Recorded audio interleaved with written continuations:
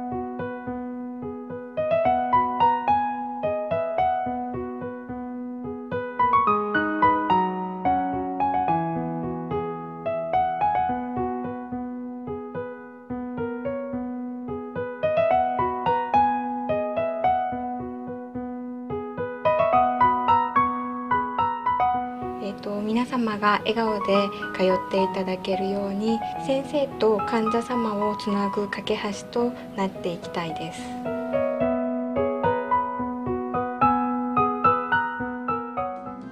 あの治療法っていうのはもう本当にその人その人によってもう何通りにもなるのでこの方法だけっていうことってないんですね。ですからその人に合った一番のいい方法っていうのはやっぱりお話しする時間を持たないとやっぱり